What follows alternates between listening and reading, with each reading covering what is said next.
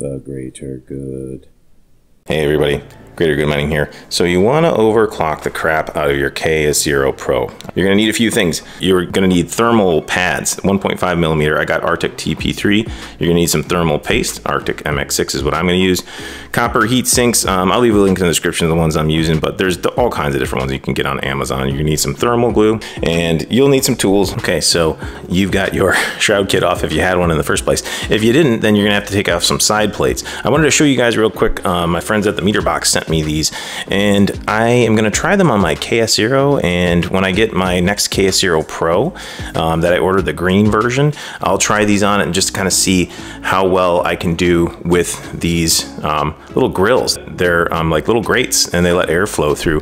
So um, if you have your stock one on, you will have to unscrew the four screws on each side to take the plate off and that's the easy part. Next, we're gonna have to take these screws off and you'll have to pry this plate open. Okay, so it's really tough to see, but I wanted to show you guys that inside, you see these, um, the fans that are mounted, um, they take up room inside of this thing. So I'm gonna mount these fans to the outside of the unit. Um, if you can see, that takes up a lot of space right where you want your airflows. Um, see way deep in there, um, behind the MOSFETs, um, those little rectangles. I don't know if you can see them, but um, I'll show you when I take the lid off. These fans block airflow. So I'm gonna um, modify the Fruitions Designs kit and I'm gonna mount these fans to the outside and that might let some more airflow in. Let's, let's give it a shot. We'll see, we'll see how it works out. Okay, let's go ahead and get started unscrewing these so we can get this plate off. So I've got all the screws unscrewed and usually people seem like they have a hard time prying theirs open. You can use like a little screwdriver or pry tool, but mine just seemed like it popped right open. Didn't seem like it was much trouble. Um, so maybe yours might be stuck on there more. Mine was not too bad. So I'm just trying to make sure I don't lose all the screws here. So there we go. There's the inside. So now I'm gonna turn this up to you so you can see it. I'm gonna point to the MOSFETs. So this seems to be causing a lot of trouble for people. Um, this is where we're gonna mount the copper heat sinks um, that I bought from, like I said, Amazon. Um, you can try all kinds of different ones. I'll give you these exact ones of the description of the video. Um, I don't get any money from like Amazon or anything like that. This is just what I'm using. I'll just show you. So we're going to glue these to these little MOSFETs here. And that should help with the temperatures of the MOSFETs so we can overclock better. But um, like I was trying to show you in the other shot, these fans do seem like they get in the way. I'm gonna see if I can um, mount them, like I said, externally. We'll, we'll give it a shot. We'll see what we can do. Um, I'm gonna pop the fans off now. Okay, so check it out. I, um, you know, obviously this is the original way where, you know, the grill's on the outside, screws are on the outside and the fans on the inside. But all I did was, um, you know, flip it, flip it around, take these screws out. Um, I removed the grill completely, um, but you you could probably find some like nuts and bolts if you really wanted to mount the, the grill back on there, but I mean, it doesn't, it doesn't really do much anyway. I mean, it's still a tiny little grill. So removed the grill and I ended up screwing the fan to the outside by just running the screws from the inside out. See how this is just like plastic? That's what the screws grab onto. So um, screws on the inside, mounted the fan on the outside, and that should save us a little bit of um, room on the inside right where we need that airflow to go. Quick tip, if you're gonna run the fans this way, um, there is a little bit of a limited like stretch with the wiring on the fan. So just make sure you're kind of pointing both wires in the same direction. So when you remount the plate, you've got enough slack on the wires to get back down to where you need to plug the fan in, if you know what I mean. Um, this way should work out just fine. Um, so just, just be mindful of um, how much room you have on your wire and which way you're pointing the wires when you mount your fans. Okay, so since it takes a while for the thermal glue to cure, I'm going to go ahead and repaste the chips first because uh, it would be very difficult for me to take the hash board off um, after I've glued on the copper heat sinks to the MOSFETs, if you know what I mean. So let's go ahead and repaste the chips with um, Arctic MX6. You can use whatever you want. This is what I'm using. Um, and then I'll show you how. It's, it's really easy. There's, um, see these screws that have like a spring loaded look to them. Um, you're gonna take these out. I think there's eight of them. Um, so I'll take these screws out and then we'll take the hash board off and then we'll repaste the chips. Okay, we got all the screws out and this should just kind of pop right off. There we go. All right. It doesn't look too bad actually. That's what the chips look like pasted on your Iceriver KS0 Pro. This paste doesn't look too bad really, um, but I'm gonna replace it anyway while I'm in here. So if you've been running yours for a while, you've been running it with like pretty hard overclocks on it, you haven't done this, you might wanna consider it. Don't forget you're voiding your warranty if you take these things apart too. Um, so I'm gonna go ahead and clean this up with um, just a little bit of paper towel, some rubbing alcohol. We're just gonna, you know, wipe this stuff off and get the new stuff on. It's pretty easy. And then I'll show you just how to put the paste back on. So um, a little tiny bit of rubbing alcohol um, and paper towel, just clean all this paste off both the hash board and don't forget you gotta clean it off the heatsink too. Okay, so I cleaned up the hash board, I cleaned up the heatsink, and now we're just gonna apply some of the Arctic MX6 thermal paste. So you really don't need a lot. Um, in my previous videos, I put probably too much on, um, but everything worked fine, but you really just need a tiny bit, like less than a pea size. It's kind of hard to control how much you put on sometimes with this little syringe, but just be careful. Don't put too much on. That should probably be all you need right there. No more than that. Um, so I'm just gonna go ahead and hit all nine of the chips oh sorry 12 of the chips. Um, and then we'll we'll go ahead and re screw down the hash board to the heatsink. So now we're just going to flip it over and put it on the heatsink and then we're going to screw it back down just like the way it was. And um, we're just going to put these little spring loaded screws back in and it should be pretty easy. Just um, don't torque them down too hard and try to torque them down kind of evenly. Um, I've heard of people like torquing them down too much on one side and having like the chips on the other side run hot. So just try to make sure you're, um, you know, not tightening it down hard at one screw at a time. Um, you know, kind of like uh, tighten them down slowly but surely in a pattern. And then on your final pass, like tighten each one down all the way. Um, kind of like when you're putting a, you know, rim back on a car, you know, like kind of do a little staggered star pattern maybe, just so it's not like all really tightly down on one side and then the other side's like warping the board, if you know what I mean. Um, so anyway, yeah, just put your screws back in. Okay, so we got all of our screws screwed back down. Now we're gonna peel off the thermal pads. Um, they look like they're in pretty good shape, but like while I'm in here, I'm just gonna go ahead and replace them. So um, you want them as wide as that gold strip there. Pretty easy. Um, I've seen other people's like falling apart when they take them off, but mine stayed intact pretty good. So um, that's where you want the thermal pads.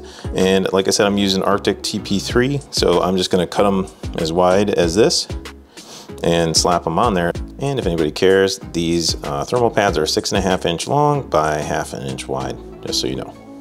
Top tip, use the package for a straight edge. All you guys with your crooked thermal pads drive me crazy. Boom, nice and straight. Thermal pads are done and looking pretty good. Okay, so just wanted to talk about the thermal glue real quick. The stuff that I am gonna leave in the link in the description, um, you get a, a lot. You don't really need barely any. It's very small amount that you need. This is good for MOSFETs, heat sinks, and it has good thermal conductivity. The only problem is it's got a 24 hour cure time. It says you can speed that up with a little bit of heat. I just want to let you know there is a cure time and you don't need a lot. It says like um, 0.1 to 0.5 millimeters. So it's a very thin amount that you need. Now let's take a look at the heat sinks that we're gonna use. I am using Alphacool 6.5 millimeter by 6.5 millimeter copper heat sinks.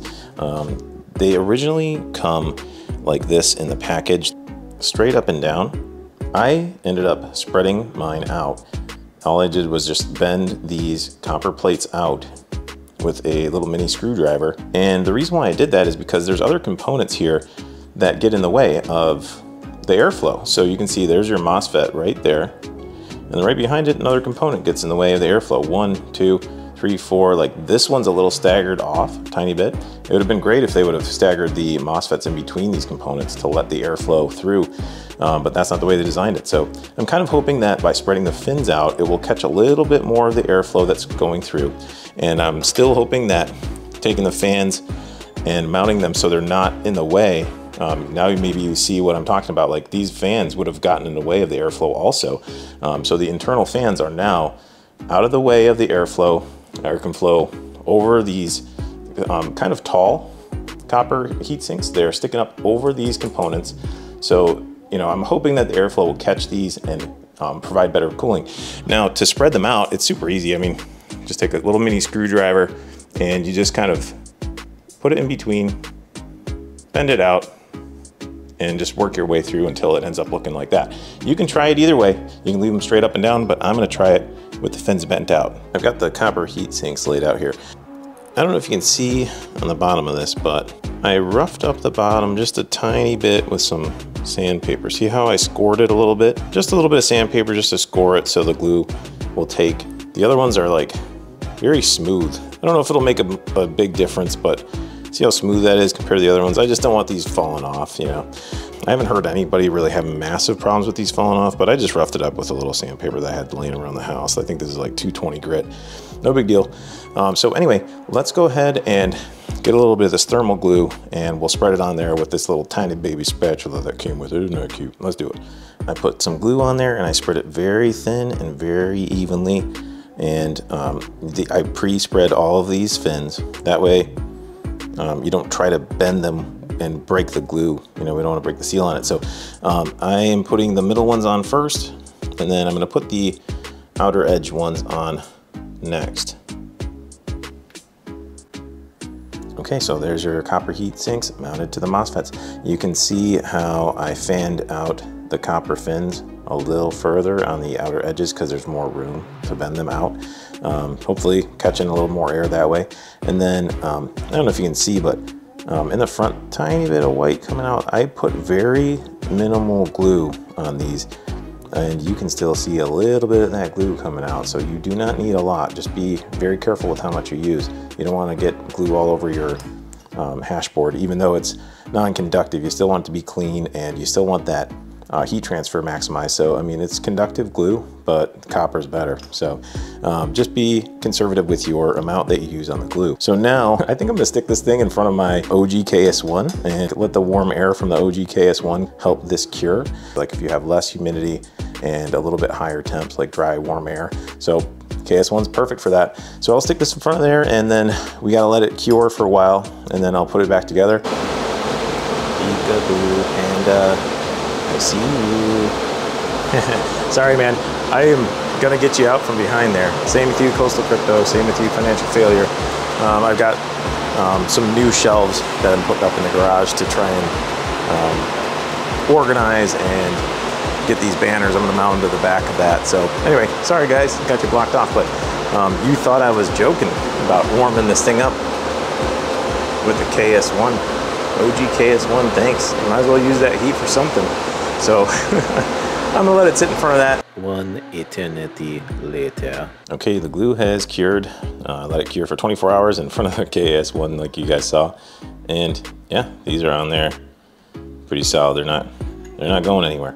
So the next thing we need to do is just put our plate back on, plug the fans in and screw the plate back on. And then I will leave the end plates off, of course.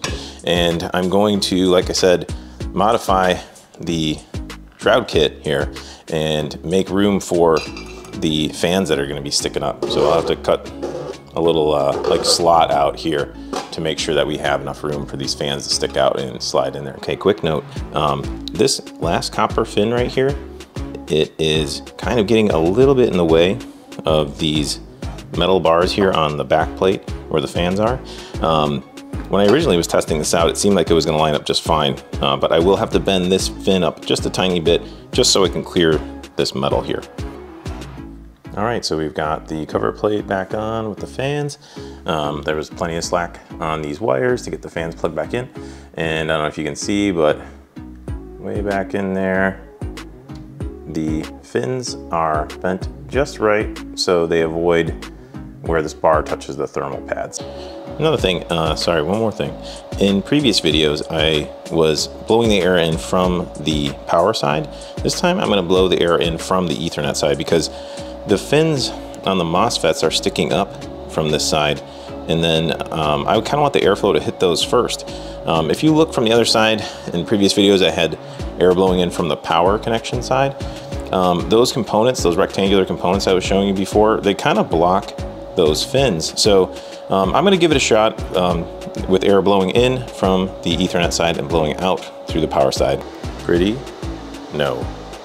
Effective? Yes. Okay, it looks like these modifications have been pretty successful. Chip temp minimum 38, chip temp max 45, board temp in 26, board temp out 41, so it's running nice and cool. And now I should have some wiggle room so we can hot rod this KS0 Pro. Um, I ordered another green KS0 Pro and it should be arriving mid-March or so. So I'll be overclocking that one too.